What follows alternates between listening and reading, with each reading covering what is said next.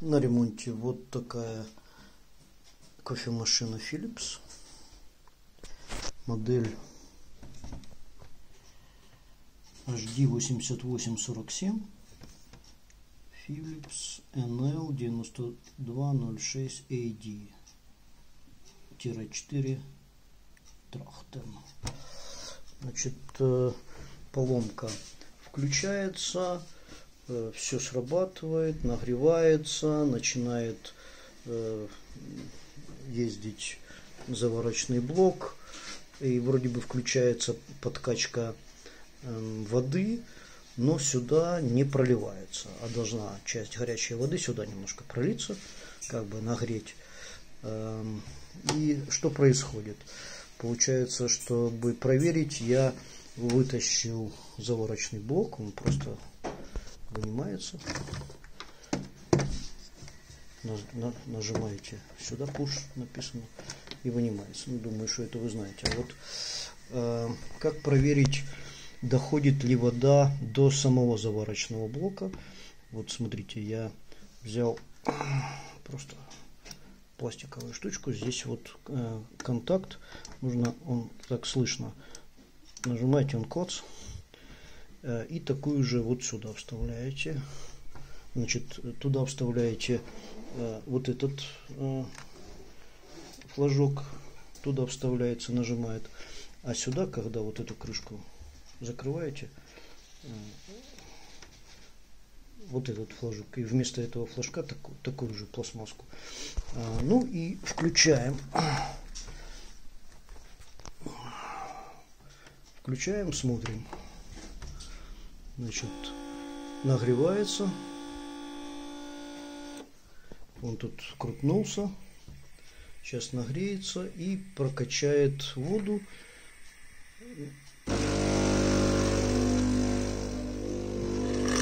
И смотрите, сюда вода доходит. То есть, по идее, э, э, или нет давления достаточного, чтобы, э, чтобы зайти вот сюда, пройти через систему и вы, пройти через вот этот клапан и отсюда, здесь он отсюда выходит, вот здесь есть такой тык, куда заходит вода, и уже она сюда выливается. Значит, э, что можно сделать? Э, ну, откручиваем здесь. Получается, здесь э, слишком забит клапан, он придерживает давление. Так он не проливается, а когда Э, давит, он тут вот эту немножко приподнимает шляпу, э, мембрану поднимает и уже под давлением э, выходит. Без давления не выходит. Ну, будем смотреть. Сейчас надо все-таки разобрать и почистить этот клапан. Откручиваем два винтика и смотрим, что можем сделать. Ну что же, вооружившись каким-нибудь хорошим светом, то мы, сняв вот эту, значит, что тут по, против часовой стрелки, раз, повернули, и вылазит вот эта крышечка, под крышечкой пружиночка, на место ставим ее сюда. Так, опять-таки хороший свет нужен. И теперь вот вместе Значит, она тут так, штырь, штырек выходит с, с боем. Значит, проволочка на место. Здесь сначала резиночка, потом мембрана. С этой стороны она все чистая, а с той стороны все нечистое. Сейчас одной рукой. Значит, потянуть надо просто. так, чтобы было видно. Просто оп, тянем, и она вытаскивается. Ну и теперь пытаюсь вам показать. Она вся грязненькая. Видно, да? Ага. вооружимся чем-то, ну, пластик, зубочистка и потихонечку всю грязь здесь свал а, с мембраны счищаем так без фанатизма чтобы не порвать мембрану. Ее хорошо вычищаем. Э, и место вот здесь тоже вычищаем. Зубочисточкой аккуратненько все прочищаем. Э, берем моющее средство э, берем так ага, она вытаскивается. Отдельно вычищаем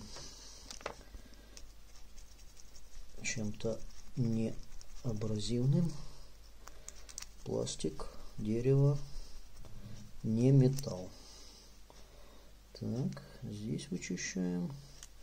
Ну и берем зубную щетку и хорошо вымываем мембрану и ставим на место.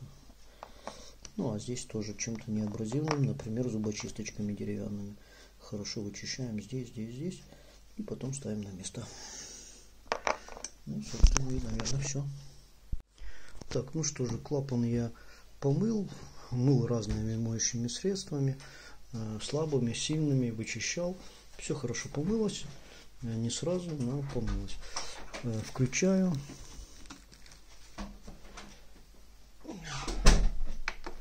Включаю здесь.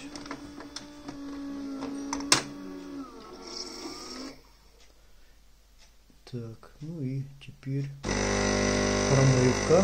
Смотрим, будет ли протекать промывка.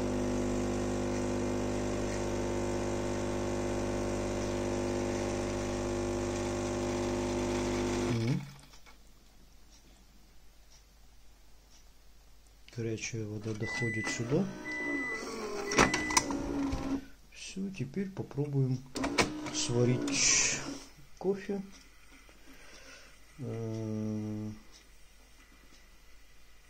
Значит, классик кофе, капучино, эспрессо, люнка. Так, наверное, вот это.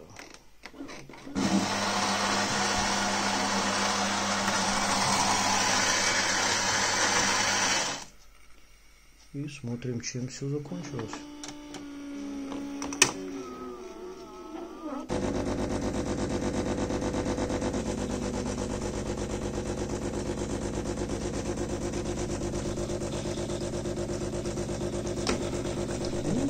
Кофе течет, заваривается.